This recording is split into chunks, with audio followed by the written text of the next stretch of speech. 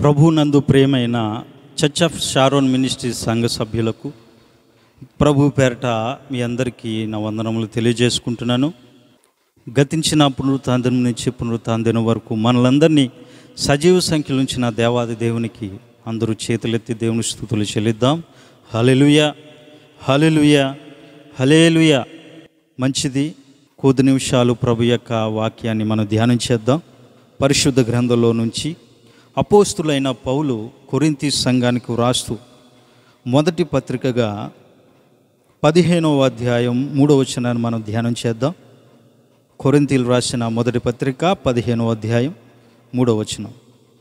నాకియ్యబడిన ఉపదేశమును మొదట మీకు అప్పగించి తిని అదేమనగా లేఖనముల ప్రకారము క్రీస్తు మన పాపముల నిమిత్తము మృతి పొందెను సమాధి చేయబడెను లేఖనముల ప్రకారము మూడవ దినమున లేపబడను.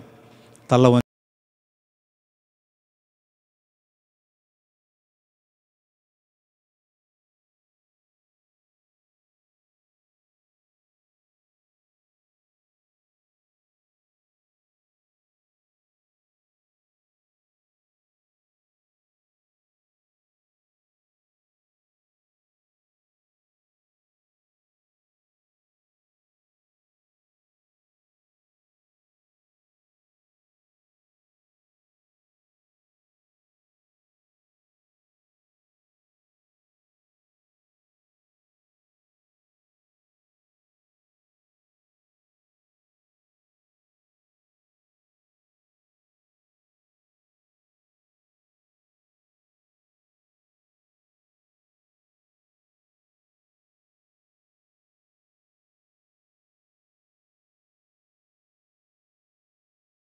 మంచిది. ఈ దినము ప్రపంచమంతా యేసు ప్రభు వారి యొక్క పునరుత్థాందరముగా ఆయన తిరిగి లేచిన సందర్భంగా పునరుత్థాందరముగా ప్రతివారు ఈస్టర్ ఈస్టర్ ఆరాధనగా ప్రతివారు ఆరాధిస్తుంటారు ప్రపంచమంతా. కానీ ఇది ఒక్కరోజుకి ఒక్క రోజుకి మాత్రం పరిమితం కాదు. ప్రతి క్రైస్తవుడు కూడా ప్రతి ఆదివారం కూడా ఏ దినమండి పునరుత్థాన దినమే దేని స్తోత్రం. హలెలుయా ఎందుకంటే క్రైస్తవుడు కూడా విశ్వసించేది యేసుక్రీస్తు మన కొరకు పుట్టాడు. మానవుల యొక్క పాపం నిమిత్తం మన కొరకు ఆయన సిలువ యాగం చేశారు సిలువలో బలి అయ్యారు మరణించారు. అంతేకాదు తిరిగి లేచారు మరలా మన కొరకు తిరిగి రాబోతున్నాడు అనే విషయాన్ని ప్రతి ఒక్కరు కూడా విశ్వసిస్తారు. దేవుని స్తోత్రం. హలెలుయ ప్రతి మనిషికి కూడా ఈ లోకంలో రెండే రెండు దినాలు ఉంటాయి పుట్టినరోజు తర్వాత ఆ మరణం. చూడండి ప్రతి ఫోటోలో. చనిపోయిన వారి ఫోటోలు రాసేటప్పుడు ఏం రాస్తారు? జననం మరణం.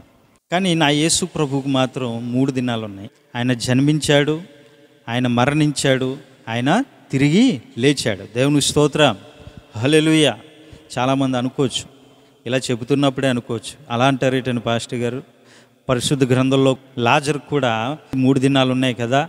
ఆయన జన్మించాడు మరణించాడు. ఆయన సమాధిలో పెట్టిన తర్వాత యేసు ప్రభు వారే వచ్చి ఆయన బయటికి రమ్మని ఆజ్ఞాపించినప్పుడు ఆయన సమాధిలోంచి బయటకు వచ్చాడు. సజీవుడిగా మరలి లోకంలో సంచరించాడు కదా. లాజరు కూడా మూడు దినాలు కలిగిన వాడే అనుకోవచ్చు. అంతటితో మాత్రం ఆగిపోకూడదు. లాజర్ మరలా ఏమయ్యాడు? మరలా చనిపోయాడు. మనుషులకి ఏటండి? అయితే అతివృష్టి లేదా అనావృష్టి.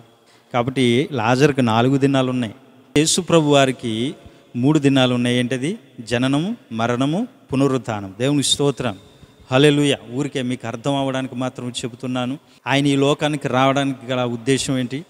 మన మానవాళి యొక్క పాపముల నిమిత్తం. ఆ పాపం నుంచి ప్రాయశ్చిత్తం పొందాలంటే క్షమాపణ పొందుకుని ఆ పాపముల నుంచి విడుదల పొందుకోవాలంటే ఒక పరిశుద్ధుడు ఏమవ్వాలి? బలి అవ్వాలి.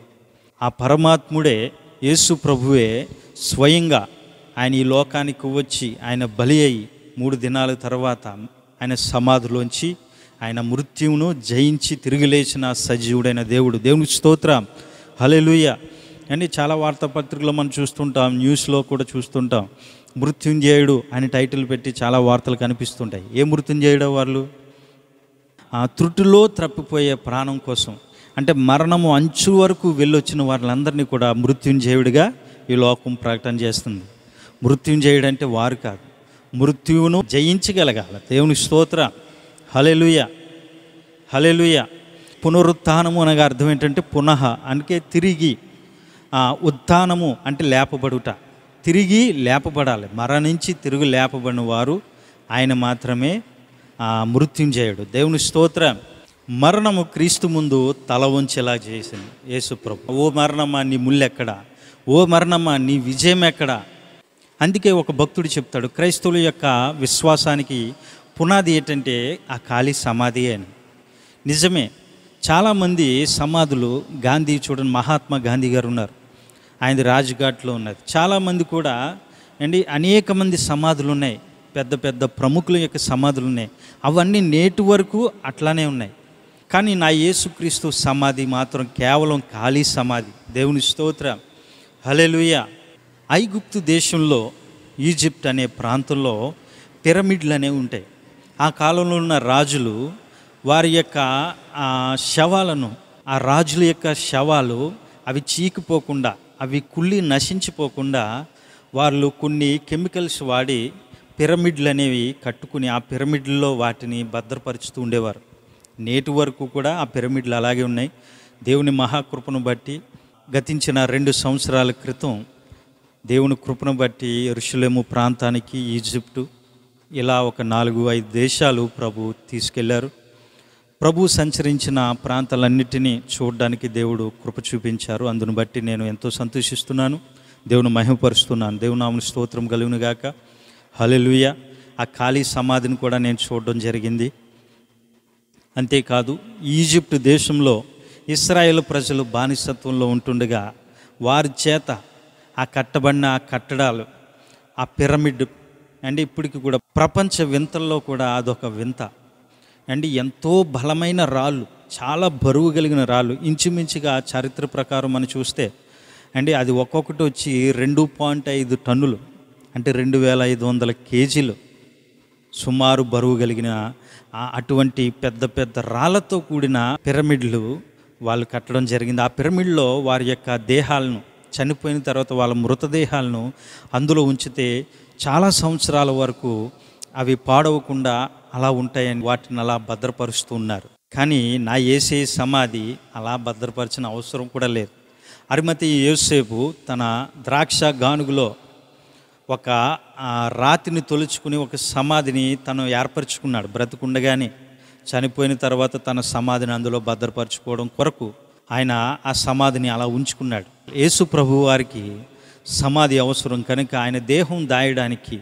అరుమతి యోసేపు ఆయన పిలాతును అడిగి ఆయన అధికారి కాబట్టి ఆ పలుకుబడి చేత యేసు ప్రభు యొక్క శరీరాన్ని ఆయన తీసుకెళ్ళి ఆయన సమాధిలోనే ఉంచారు. చాలామంది అడుగుంటారు ఏంటి నీ కొరకు నువ్వు దాచుకున్న సమాధిని యేసు ప్రభు వారికి ఇచ్చేసావు? మరి నీ సంగతి ఏంటి? అంటే నేను నా సమాధిని పర్మనెంట్గా యేసు ప్రభుకి ఇవ్వలే. కేవలం మూడు రోజులు మాత్రమే రెంట్కి ఇచ్చా దేవుని స్తోత్రం. హలెలుయ ఎందుకంటే యేసు ప్రభు మూడు రోజుల తర్వాత తిరిగి లేస్తానని ప్రభు చెప్పిన మాట హరిమతి యోసేపు పూర్తిగా విశ్వసించాడు. దేవుని స్తోత్రం. హలెలుయ లేఖనముల ప్రకారము క్రీస్తు మన పాపముల నిమిత్తం ఆయన మృతి పొందాడు సమాధి చేయబడ్డాడు. అంతేకాదు లేఖనముల ప్రకారం ఆయన తిరిగి లేచాడు. దేవుని స్తోత్రం. హలెలుయ సమాధిని గెలిచిన దేవుడు యేసుక్రీస్తు వారు మృత్యువును జయించిన వారు యేసు ప్రభు వారు మృత్యువు కూడా మరణము కూడా యేసుక్రీస్తు ఎదుట తల ఉంచేలా చేశాడు. ఓ మరణమా నీ ముళ్ళెక్కడ ఓ మరణమా నీ విజయం ఎక్కడ ప్రభువునందు మరణము కూడా తలదించింది. దేవుని స్తోత్రం. హలెలుయ ఈ లోకాన్ని జయించిన జయశీలుడు కేవలం యేసుక్రీస్తు మాత్రమే. మనము కూడా లోకాన్ని జయించాలంటే క్రీస్తులో ఉంటే క్రీస్తులో మనం ఈ లోకాన్ని జయించగలం. దేవునికి స్తోత్రం. హలెలుయ లోకాశలను జయించాలన్నా ఈ లోకంలో ఉన్న పాపాన్ని జయించాలన్నా మనిషి వల్ల మాత్రం కాదు. కేవలం క్రీస్తు యేసును బట్టే ఆ పాపాల నుంచి ఆ రోగముల నుంచి కానివ్వండి ఆ శ్రమల నుంచి కానీ వేటి నుంచి అయినా మనం విడుదల పొంది విజయాన్ని పొందుకోవాలంటే కేవలం యేసుక్రీస్తులోనే అది సాధ్యం. దేవుని స్తోత్రం. హలేలుయ క్రీస్తు పునరుత్థానంలో సంతోషం ఉంది క్రీస్తు పునరుత్థానంలో బలం ఉంది క్రీస్తు పునరుత్థానంలో ప్రేమ కూడా దాగి ఉంది. దేవుని స్తోత్రం. పునరుత్థాన సంతోషము పునరుత్థాన బలము పునరుత్థాన ప్రేమ మన జీవితాల్లో కూడా ప్రభు మనలో మెండుగా దేవుడు కురిపించును గాక. దేవుని స్తోత్రం. హలెలుయ ఇక్కడ కురింతి పత్రికలోనే మనం పదిహేను అధ్యాయంలోనే పద్నాలుగు వచ్చిన ఒకసారి ధ్యానం చేస్తే పద్నాలుగు వచ్చిన ఒకసారి మనం చదివినట్లయితే మరియు క్రీస్తు లేపబడి ఉండని ఎడల మేము చేయు ప్రకటన వ్యర్థమే మీ విశ్వాసమును వ్యర్థమే. దేవుని స్తోత్రం. హలెలుయ అంటే క్రైస్తవుని యొక్క విశ్వాసమునకు పునాది ఏంటండి? ప్రభువు లేపబడ్డాడు. క్రీస్తు యొక్క పునరుద్ధానము. అందుకే ఒక భక్తుడు చెప్పాడు క్రైస్తవ విశ్వాసుల విశ్వాసానికి పునాది ఖాళీ సమాధి. దేవుని స్తోత్రం. హలెలుయ నిజమే. మన విశ్వాసము ఆయన తిరిగి లేపబడ్డాడు. మన కొరకు మరణించారు. ఆయన మన కొరకు సమాధి చేయబడి ఆయన మరలా తిరిగి లేచారు. అందుకే ఇక్కడ ఆపోస్తులైన పౌలు కూడా చెబుతున్నాడు. ఆయన ఒకవేళ లేపబడని ఎడల మేము చేయు ప్రకటన వ్యర్థం? సువార్త అనే ప్రశ్నకు జవాబు కొరింతి పత్రిక పదిహేనో అధ్యాయం మూడో వచనమే దానికి జవాబు. నాకు ఇవ్వబడిన ఉపదేశం ఏదనగా క్రీస్తు మన పాపల నిమిత్తం ఏమయ్యాడు? ఆయన మరణించి సమాధి చేయబడి ఆయన తిరిగి సజీవుడిగా లేచాడు. దేవుని స్తోత్రం. హలెలుయ పునరుత్థాన సంతోషం. మత్తి సువార్త ఇరవై ఎనిమిదో అధ్యాయం. ఎనిమిదో వచ్చిన ఒకసారి మనం చదివినట్లయితే మత్తే సువార్త ఇరవై ఎనిమిదో అధ్యాయం. ఎనిమిదో వచ్చినాన్ని మనం చదివినట్లయితే వారు భయముతోనూ మహా ఆనందముతోనూ సమాధి యొద్ద నుండి త్వరగా వెళ్ళి ఆయన శిష్యులకు ఆ వర్తమానమును తెలుప పరిగెత్తుచుండగా. ఇక్కడ మనం ధ్యానం చేసినట్లయితే ఇరవై ఎనిమిదో అధ్యాయం మొదటి నుంచి చదివినట్లయితే విశ్రాంతి దినము గడిచిపోయిన తర్వాత ఆదివారమున తెల్లవారుచుండగా మగ్ధులేని మరియయు వేరొక మరియయు సమాధిని చూడవచ్చిరి. దేవునికి స్తోత్ర.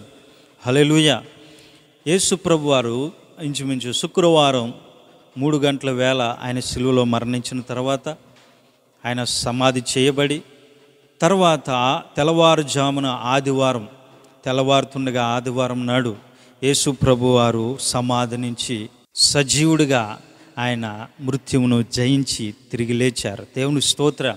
హలెలుయ ఇరవై ఎనిమిదవ వచనంలో రెండవ వచనాన్ని మనం చదివితే ఇదిగో ప్రభువు దూత పరలోకం నుండి దిగువచ్చి రాయి పొర్లించి దాని మీద కూర్చుండెను. అప్పుడు మహా భూకంపము దూత ఆ స్త్రీలను చూచి మీరు భయపడుకుడి సిలువ వేయబడిన యేసును మీరు వెతుకుచున్నారని నాకు తెలియను. ఇక్కడ మనం జాగ్రత్తగా చదివినట్లయితే ఆయన ఇక్కడ లేడు తాను చెప్పినట్లే ఆయన లేచి ఉన్నాడు. దేవుని స్తోత్రం. హలెలుయ ఇప్పటికి కూడా ఎరుషులేము ప్రాంతంలో యేసుక్రీస్తు వారి యొక్క సమాధి దగ్గర ఆ తలుపు మీద అప్పటికి కూడా రాయబడి ఉంది. ఆయన ఇక్కడ లేడు. ఆయన చెప్పినట్లుగానే ఆయన తిరిగి లేచాడు. దేవుని స్తోత్రం. హలెలుయ హలెలుయ కాబట్టి ఆయన సమాధిని గెలిచిన దేవుడు పునరుత్నుడైన దేవుడు. ఆ పునరుత్నుడైన దేవుణ్ణి మనం ఆరాధిస్తున్నాం. ఆయన మరణించినటువంటి దేవుడు కాదు మరణించి తిరిగి లేచిన దేవుడు. దేవుని స్తోత్రం మృత్యుంజయుడైన దేవుడు. అందుకే కీర్తనకారుడు కూడా చెప్తాడు నీ పరిశుద్ధిని నువ్వు కుళ్ళు పట్టనీయలేదని దేవుని స్తోత్రం. ఎన్నో విషయాలు పరిశుద్ధ గ్రంథంలో యేసుక్రీస్తు యొక్క పునరుత్నమును గురించి లిఖించబడి ఉన్నాయి ఆ లేఖనానుసారమైన వాక్యాలు లేఖనానుసారమైన వాగ్దానాలు కృత నిబంధనలో ప్రభు వాటిని నెరవేర్చాడు. వాటిని బట్టి మనం విశ్వసించి ప్రభులో మనం ఇంకా ముందు కొనసాగుతూ పునరుత్నుడైన దేవుణ్ణి మనం ఆరాధిస్తూ పునరుత్న సంతోషంతో మనం ప్రభునందు ఎల్లప్పుడూ కూడా ఆనందిస్తూ సంతోషిస్తూ ఆయన ఆరాధిద్దాం. ఫిలిప్పీలకు రాసిన పత్రిక నాలుగో అధ్యాయం నాలుగో వచనంలో రాయబడి ఉంటుంది. ఎల్లప్పుడూ నువ్వు ప్రభునందు ఆనందించుడి. మరలా చెప్పుదును ఆనందించుడి. దేవుని స్తోత్రం. మన ఆనందం మన సంతోషం ఎవరిలో అండి? ఈ లోకంలో కాదు. ఏసుక్రీస్తునందు పునరుత్డైన దేవుని అందే మనం సంతోషం. అవును ఆయన మరణాన్ని జయించిన దేవుడు. ఆయనకి అసాధ్యమైనది ఏది కూడా లేదు. దేవుని స్తోత్రం. హలెలుయ అపోస్తులైన పౌలు ఫిలిప్పీలకు రాసిన పత్రిక మూడవ అధ్యాయం పదకొండవ వచ్చినాను మనం ధ్యానం చేసినట్లయితే ఏ విధము చేతనైనను మృతుల్లో నుండి నాకు పునరుత్నము కలుగవలనని? ఆయన మరణ విషయములో సమాన భవము గలన వాడినై ఆయనను ఆయన పునరుత్న బలమును ఎరుగు నిమిత్తము. ఆయన శ్రమలలో పాలివాడినగుట ఎట్టిదో ఎరుగు నిమిత్తమును సమస్తమును నష్టపరుచుకొని వాటిని పెంటతో సమానముగా ఎంచుకుంటున్నాను దేవుని స్తోత్రం. హలెలుయ ఇక్కడ అపోస్తులైన పౌలు చెప్తున్నాడు ఏమనంటే పునరుత్న బలము. దేవుని స్తోత్రం. ఆయన పునరుత్నంలో ఏముందట? ఆయన పునరుత్థానంలో బలం ఉంది. దేవుని స్తోత్రం.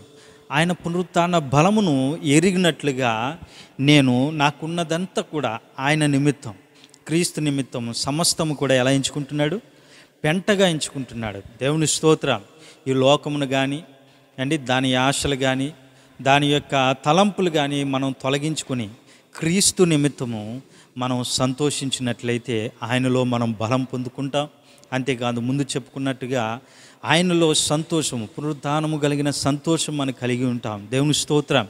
హలేలు ఆ స్త్రీలు అంటే మగ్ధలైన మరియా వేరొక మరియా కలిసి ఎలా వెళ్తున్నారట?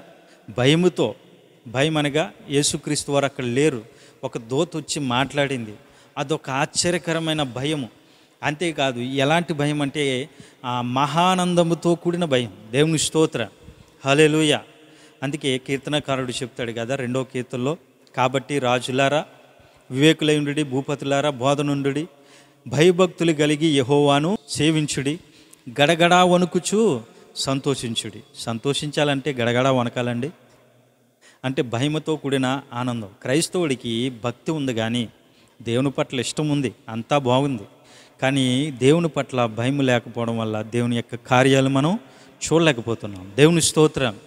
హలెలుయ భయముతో కూడిన ఆనందంతో సంతోషంతో మనం ఉంటే దీన్ని ఏమనాలంటే క్రమశిక్షణతో కూడిన సంతోషం.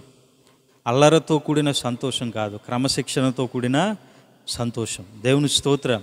హలెలుయ ఆ పునరుత్న బలమును గురించి అపోస్తులైన పౌలు ఎందుకు చెప్తున్నాడంటే అపోస్తులైన పౌలు సౌలుగా ఉన్నప్పుడు అప్పటి వరకు క్రూరుడిగా ఎంతో ద్వేషంతో క్రీస్తు విరోధుకుంటుంటే సౌలు యేసు ప్రభువుని ప్రేమించే వ్యక్తిగా యేసు ప్రభు కొరకు సమస్తమును పెంటతో సమానముగా ఎంచుకోవడానికి సిద్ధపడ్డాడంటే ఆయన పునరుద్ధాన బలమును ఆయన పొందుకున్నాడు. ఆయన పునరుద్ధానంలో ఉన్న సంతోషాన్ని పొందుకున్నాడు. ఆయన పునరుద్ధానంలో ఉన్న ప్రేమను ఆయన రుచి చూచాడు. దేవుని స్తోత్రం. హలెలుయ అపోస్తులైన పౌలు సౌలుగా ఉన్నప్పుడు ఆ సౌలు గారి యొక్క తన తండ్రి వాడల వర్తక వ్యాపారి. అంటే వాడలతో వ్యాపారం చేయడం కాదు వాడలనే వ్యాపారంగా వాడలను కొనడం అమ్మడం. అంటే చిన్న బిజినెస్ కాదు ఒక వాడొచ్చే కొన్ని లక్షలు ఉండొచ్చు. ఇంచుమించు ఈ లెక్కల్లో అయితే కోటి రూపాయలు పైన ఉండొచ్చు. నాకు తెలిసి మట్టుకు ఇంకా ఎక్కువే ఉండొచ్చు. అంత ఆస్తిపరుడు ఎవరు? సౌలు. అంతేకాదు రోమ పౌరుషత్వం కలిగిన గమనీయులు గమనయ్యలు ప్రాదాల కింద ధర్మశాస్త్రాన్ని కూడా క్షుణ్ణంగా చదివిన వ్యక్తి ఎంతో విద్యావంతుడు అంతేకాదు సకల విద్యలందు కూడా ప్రావీణ్యత కలిగిన వాడు అపోస్తులైన పౌలు కూడా. అలాంటి వ్యక్తి యేసు ప్రభు అంటే ఇష్టం లేని వ్యక్తిగా యేసు ప్రభుకు విరోధిగా జీవిస్తున్న దినాల్లో యేసు ప్రభు వారు తన దర్శనాన్ని బట్టి తన్ను దర్శించిన రీతిలో వెంటనే సౌలు పౌలుగా మార్చబడ్డాడు.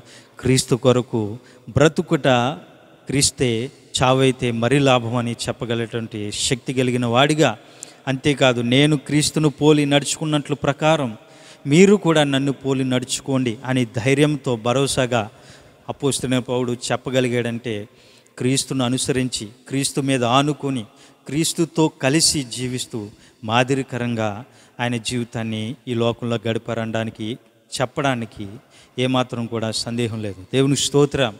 హలెలూయ యోహాను సువార్త ఇరవై ఒకటో అధ్యాయం మొదటి నుంచి మనం చదువుకున్నట్లయితే అటు తర్వాత యేసు తిబిరయ సముద్రము తీరమున శిష్యులకు మరలా తన్ను ప్రత్యక్షపరుచుకొనెను.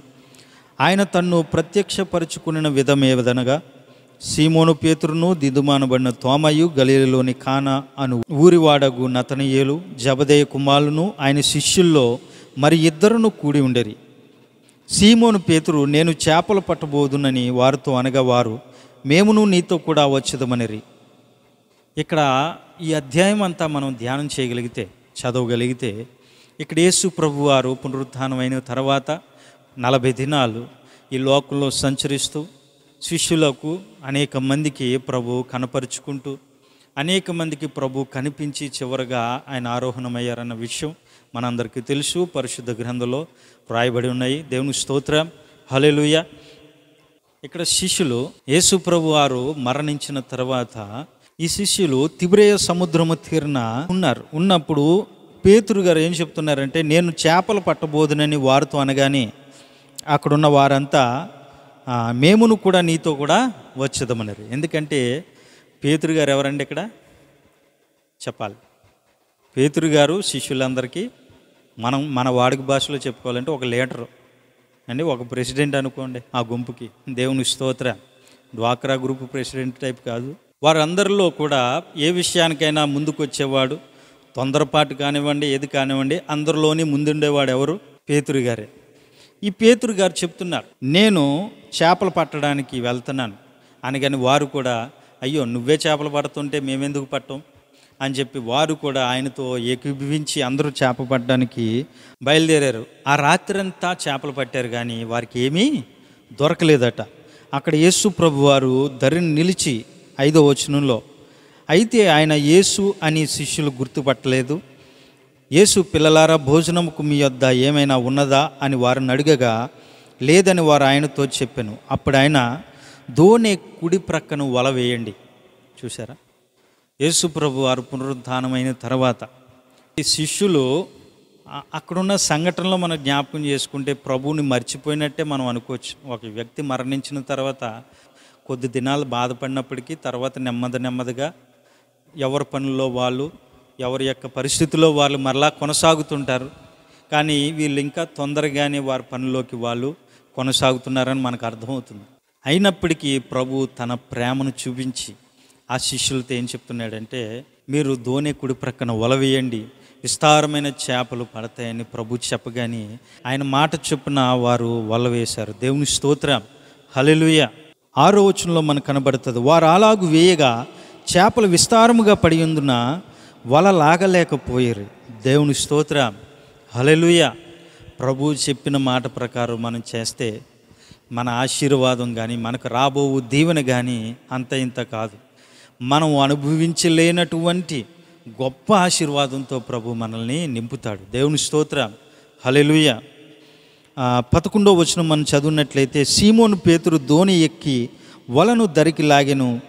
అది నూట యాభై మూడు గొప్ప చేపలతో నిండి ఉండెను. దేవుని స్తోత్ర. హలెలుయ అండి ఎలాంటి చేపలట అవి? చిన్న చేపలు పెద్ద చేపలు? కాదు. గొప్ప చేపలట.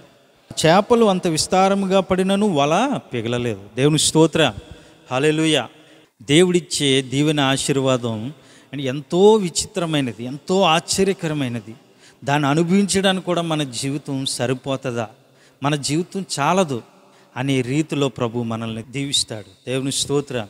హలెలుయ హలెలుయ ఇదే అధ్యాయంలో పదిహేను వచనం మనం చదివినట్లయితే వారు భోజనం చేసిన తర్వాత యేసు సీమోను పేతురును చూచి యోహాను కుమారుడు అయిన సీమోను వీరికంటే నీవు నన్ను ఎక్కువగా ప్రేమించుచున్నావా అని అడుగుగా అతడు అవును ప్రభువా నేను నిన్ను ప్రేమించి ఉన్నాను నీ వెరుగుదు అని ఆయనతో చెప్పాను. ఇలా మూడు సార్లు యేసు ప్రభు వారు పేదరు గారిని అడిగితే పేదరు గారు అదే సమాధానం చెబుతూ వ్యసనపడుతూ చెప్పారు. దేవుని స్తోత్రం.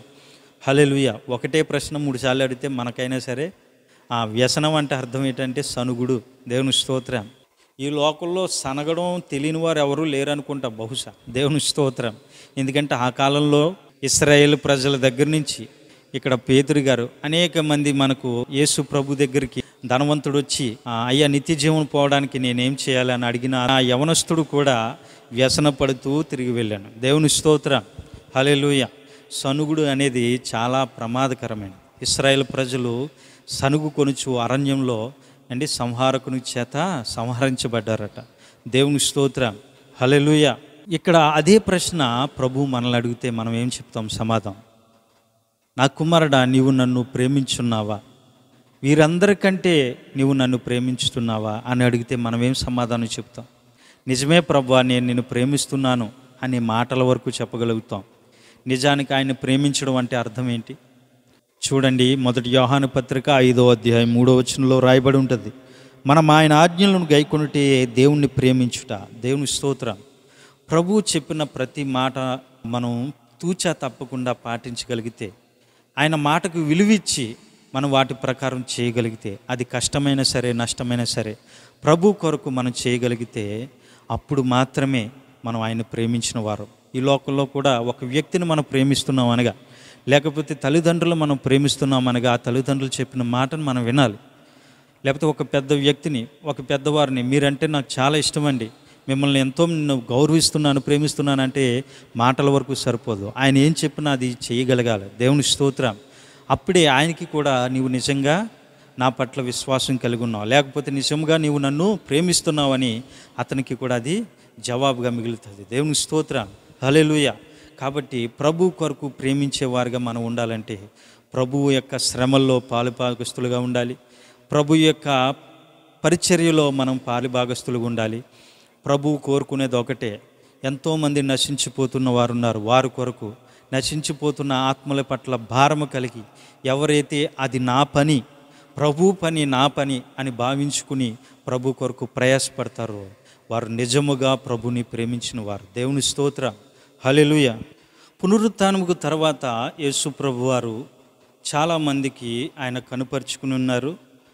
సమయం లేదు కానీ మీకు కొన్ని రెఫరెన్సెస్ చెప్తాను. వాటిని మీరు ఇంటి దగ్గర ఉండి వాటిని ధ్యానించవలసిందిగా ప్రభు పేరట మనవి చేస్తున్నాను.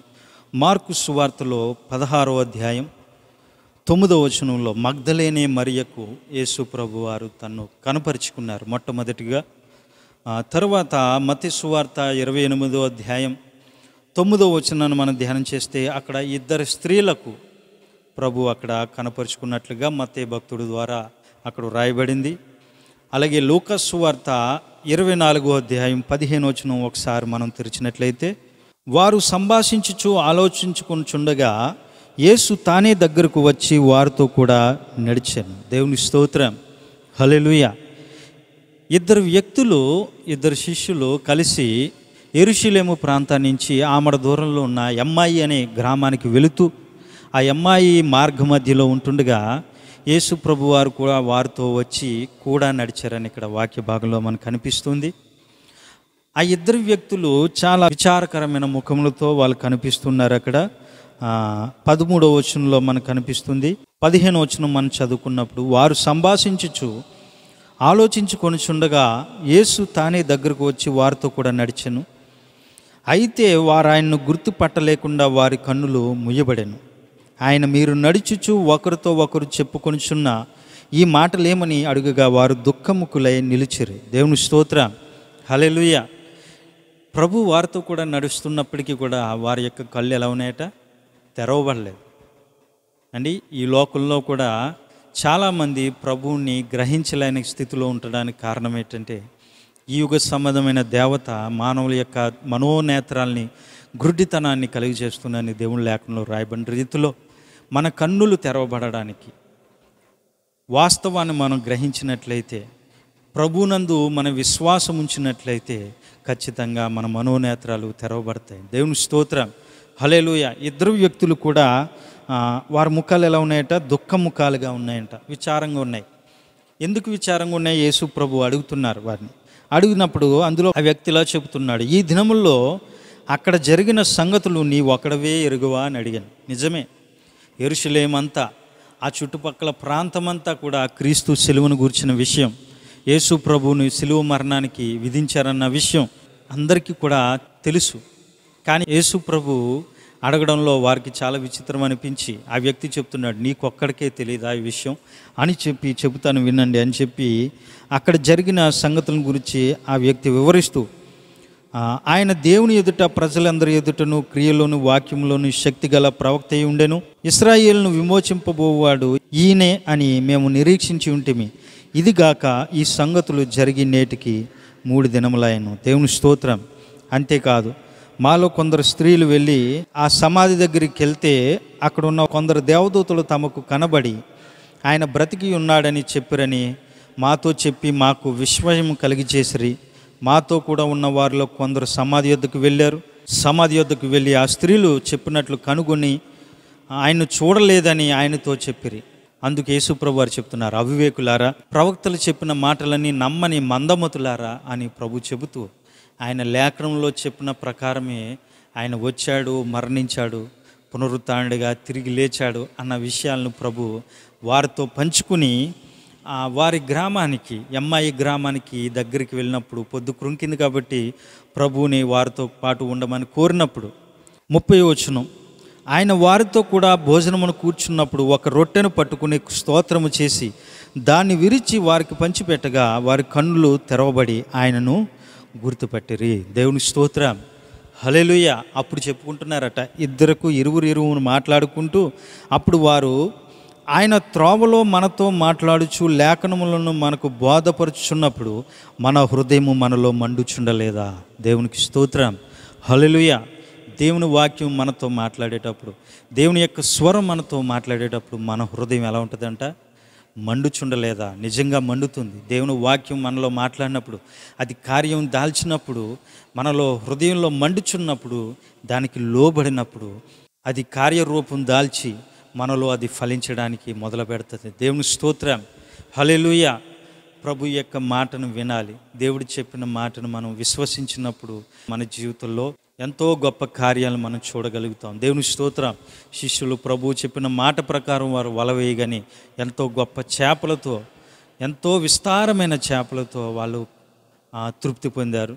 అంతేకాదు ఇక్కడ ఎంఐ మార్గుల్లో విచారంగా దుఃఖముకులే ఉంటున్న ఇద్దరు శిష్యులను కూడా దేవుడు బలపరిచి వారి మూయబడిన నేత్రములు దేవుడు తెరిచాడు. దేవుని స్తోత్రం. హలిలుయ నలభై ఐదో మనకు కనిపిస్తుంది. అప్పుడు వారు లేఖనములు గ్రహించినట్లుగా ఆయన వారి మనస్సును తెరచి. దేవుని స్తోత్ర. హలిలుయ యాభై వచనాన్ని చదువుకుంటూ ఆయన బేతనీ వరకు వారిని తీసుకుని పోయి చేతులెత్తి వారిని ఆశీర్వదించను. దేవుని స్తోత్రం. హల్లెలూయ.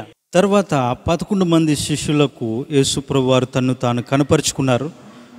లోకాసు వార్త ఇరవై నాలుగో అధ్యాయం ముప్పై ఆరు వచనాన్ని మనం జ్ఞాపం చేసుకున్నట్లయితే దిదుమానబడిన తోమ తోమ లేనప్పుడు యేసుప్రభు వారు శిష్యులకు కనిపించారు. తోమాతో పాటు శిష్యులు ఉన్నప్పుడు యేసుప్రభు వారు శిష్యులకు కనిపించారు. అపోస్తులైన పౌలు కొరింది సంఘానికి రాసిన మొదటి పత్రిక పదిహేనో అధ్యాయంలోనే ఆరో వచనాన్ని మనం జ్ఞాపం చేసుకున్నట్లయితే ఆయన కేఫాకును తర్వాత పన్నెండుగురికి కనబడెను. అటు పిమ్మట ఐదు వందలకు ఎక్కువైన సహోదరులకు ఒక్క సమయమందే కనబడెను. వీరిలో అనేకులు ఇప్పటి వరకు నిలిచున్నారు కొందరు నిద్రించిరి. తరువాత ఆయన యాకోబునకును అటు తర్వాత అపోస్తులకు అందరికీ కనబడను. దేవునికి స్తోత్రం. హలెలూయ యేసు ప్రభువారు తను పునరుత్డైన తర్వాత ఆయన అనేక మందికి ప్రత్యక్షపరుచుకున్నారు. తను సాక్ష్యం నిమిత్తం అనేక మందిని ప్రభు దర్శించారు. అంతేకాదు అపోస్తులైన పౌలు ఆ విషయాలను చెబుతూ చెబుతూ కూడా ఎనిమిదో వచనంలో అందరికీ కడపట కాలమందు పుట్టినట్టున్న నాకును కనబడెను. యాలయనగా నేను అపోస్తులందరిలో తక్కువను అని చెబుతూ తను తాను తగ్గించుకుంటూ అపోస్తులైన పౌలు చెప్తున్నాడు నాకు కూడా కనిపించారు. దేవుని స్తోత్రం. హలెలుయ అనేక మందికి ప్రభు తను తాను కనపరుచుకున్నారు పునరుత్నం అయిన తర్వాత శిష్యులందరినీ బలపరిచి వారిని ధైర్యపరిచి ఇదిగో మీ కొరకు ఆదరణకర్తను పంపబోతున్నాను. ఆయన వచ్చి మిమ్మల్ని సర్వసత్యంలోనికి మిమ్మల్ని నడిపిస్తాడని ప్రభు చెప్పి ఆరోహణమయ్యారు. దేవునికి స్తోత్రం. హలెలుయ యేసు ప్రభు వారు వస్తానన్నారు వచ్చారు. ఆయన మరణిస్తారు మన కొరకు అన్నారు మరణించారు. ఆయన మరణించి తిరిగి లేస్తానన్నారు మూడో దినాన తిరిగి లేచాడు. యేసుప్రభు వారు జీవిస్తున్న కాలంలో అక్కడున్న శాస్త్రులు పరిశైలతో యేసుప్రభు ఇలాగ చెప్పారు. దేవాలయమును పడగొట్టండి మూడు దినాల్లోగా నేను లేపుతాను లేదా నిలబెడతాను అనగానే వారు శారీరకంగా వాటిని అర్థం చేసుకుని దేవాలయం అంటే ఆ మందిరమేమో దీన్ని పడగొడితే మూడు దినాల్లో దాన్ని లేపుతాడంట దాన్ని కడతాడంట అని చెప్పి అపహాస్యం చేశారు. యేసు ప్రభు సిలువు మీద ఉన్నప్పుడు కూడా వారు అపహాస్యం చేశారు. నిన్ను నువ్వు బ్రతికించుకోలేనటువంటి వాడివి దేవాలయాన్ని మూడు దినాల్లో ఎలా కడతావు అని అనేక అపహాస్యాలు ప్రభుని చేశారు. కానీ ప్రభు చెప్పిన మాట అది కాదు. ఈ దేహం అనే దేవాలయాన్ని పడగొట్టండి. మూడు దినాల్లో నేను లేపి దాన్ని నిలబెట్టి మీకు చూపిస్తా అన్నాడు దేవుని స్తోత్ర. హలెలుయ ఖచ్చితంగా వారు ఈ దేవాలయాన్ని పడగొట్టారు. మూడు దినాల్లో ప్రభు లేపాడు. దేవుని స్తోత్ర. హలెలుయ ఆయన మరణించాడు తిరిగి లేచాడు. అంతేకాదు ఆయన వస్తానన్నాడు. ఖచ్చితంగా మనల్ని తీసుకెళ్ళడానికి ఆయన వచ్చి తీరుతాడు. దేవుని స్తోత్రం. హలెలుయ లూకా సువార్త ఇరవై నాలుగో అధ్యాయం యాభై వచ్చులో మనకు కనిపిస్తుంది. శిష్యులందరినీ కలిసి యేసు ప్రభు వారు ఒక చోట ఏర్పరిచి వారందరితో మాట్లాడి ఆయన ఆరోహణమైనట్టుగా మనకి అక్కడ కనిపిస్తుంది. ఈ సందర్భాలన్నిటిని మనం జ్ఞాపం చేసుకుంటే పునరుద్ధానుడైన యేసు తను పునరుద్ధానుడైనట్టుగా సాక్ష్యం నిమిత్తం అనేక మందికి ప్రభు ఆయన ఈ లోకంలో కనపరుచుకున్నారు. దేవుని స్తోత్రం. హలెలుయ కాబట్టి ఆయన మృత్యుంజయుడు ఆయన మరణాన్ని జయించిన దేవుడు. అటువంటి దేవునికి అసాధ్యమైనదంటూ ఏదీ లేదు. ఈ లోకంలో ఏది వింతలు జరిగినా ఎన్నో ఆశ్చర్యకరమైన సంఘటనలు జరిగినా ఒక వ్యక్తి తన మరణం నుంచి మరణము పొంది దాన్ని జయించగలిగాడంటే అటువంటి అద్భుతం ఈ లోకంలో ఇంకెక్కడా? దీనికంటే గొప్ప అద్భుతం ఇక ముందు ఉండదు దాని తర్వాత కూడా ఉండదు. దేవుని స్తోత్రం. హలెలుయ అంత అద్భుతమైన సంఘటన ఈ లోకంలో యేసు ప్రభు యొక్క జీవితంలో మనకు కనిపించింది ప్రభు చెప్పినట్లుగానే లేఖనముల ప్రకారము ఆయన వచ్చాడు మన కొరకు మరణించాడు తిరిగి లేచాడు ఆరోహణమయ్యారు. మరలా ఆయన వస్తానన్నాడు నేనుండు స్థలములో మీరుండులాగున మీకు స్థలము సిద్ధపరచ వెలుచున్నాను అని ప్రభు చెప్పిన మాట ప్రకారం ఆదరణకర్తను మన మన మధ్య ఉంచి ఆయన మనల్ని ఆదరిస్తూ సర్వసత్యంలోకి నడిపిస్తూ క్రీస్తుని గురించిన లేఖనంలో ఒప్పింపజేస్తూ ఆయన విశ్వాసంలో దృఢంగా ఈ అంత్యకాలంలో అపాయకరమైన పరిస్థితుల్లో కదలని వారుగా స్థిరులుగా నిలకడమైన వ్యక్తులుగా భక్తులు ఎందు మనం నిలబడే రీతిలో ప్రభువును మరలా మనం ఎదుర్కొంటకు సిద్ధమనిసోగలిగిన వారిగా సిద్ధమైన వారిగా సిద్ధమైన కన్యకులుగా బుద్ధి కలిగిన కన్యకులుగా మనం ఉండడానికి ప్రయాసపడదాం. మనం దేవుని యొక్క భక్తి జీవితంలో ముందుకు కొనసాగుదాం. యేసు ప్రభు వారిని సమాధిలో ఉంచిన తర్వాత రోమ ప్రభుత్వం ప్రధాన యాజకులు వీళ్ళందరూ కలిసి ప్రభువు తను లేస్తానన్న మాట వారికి ఎందుకో అనుమానం వచ్చి ఆయన బయటికి రాకుండా ఆయన లేకుండా వాళ్ళు రాయిని అడ్డుపెట్టారు ఒక రాయిని ఆ సమాధికి అడ్డుగా పెట్టారు. అడ్డుగా పెట్టడమే కాకుండా అక్కడ కొంతమంది సైనికులను కూడా అక్కడ పెట్టి కాపలా పెట్టి ఆ రాయికి రోమా సీలును అంటే ముద్రను వేశారు. ఆ కీలు పూసారట అంటే వాటిని ఎవరు కూడా తీయడానికి వీలు లేకుండా. ఆ రాయి కూడా మేము చూడడం జరిగింది. అది ఇంచుమించు చరిత్ర ప్రకారం అయితే ఒకటి నుంచి రెండు టన్నుల బరువు కలిగిన రాయి. అటువంటి బలమైన రాయి ఒక నలుగురు ఐదుగురు సైనికులు కూడా దాన్ని ప్రక్కకు నెట్టలేనటువంటి పరిస్థితి. అలాంటి బరువైన రాయిని తెరచుకుని యేసు ప్రభు వారు బయటకు వచ్చారంటే వారికి నమ్మశక్యం కాలేదు. అటువంటి బరువైన రాయి కాస్త పొర్లింపబడింది. యేసుక్రీస్తు సజీవుడై మృతుల్లోంచి ఆయన విజయుడై మరణాన్ని గెలిచి బయటికి వచ్చారు. దేవుని స్తోత్రం. హలెలుయ చివరగా యోహాను సువార్త ఇరవై ఒకటో అధ్యాయం ఇరవై ఐదో వచ్చిన చదువుకుని ముగించుకుందాం. యోహాను భక్తుడు చెప్తున్న మాట ఏంటంటే ఆయన చేసిన కార్యముల గురించి ఈ గ్రంథంలో రాయాలంటే ఈ భూలోకం కూడా సరిపోదని చెప్తున్నాడు. నిజమే ఆయన చేసిన కార్యాలు లెక్కకు మించినవి. దేవుని స్తోత్రం. ఈ కార్యములు మన జీవితంలో కూడా మన యొక్క పరిస్థితుల్లో కూడా ప్రభు అనేక అద్భుత ఆశ్చర్య కార్యాలు చేశాడు. ఇక ముందు కూడా చేయబోతున్నాడు. సజీవుడైన దేవుడు మరణమును జయించిన జయశీలుడు. కాబట్టి ఆయన నేటికి సజీవమైన దేవుడు. కాబట్టి మనలో అప్పుడు చేసిన కార్యాలు అంతకంటే గొప్ప కార్యాలు మన జీవితాల్లో కూడా దేవుడు చేస్తున్నాడు.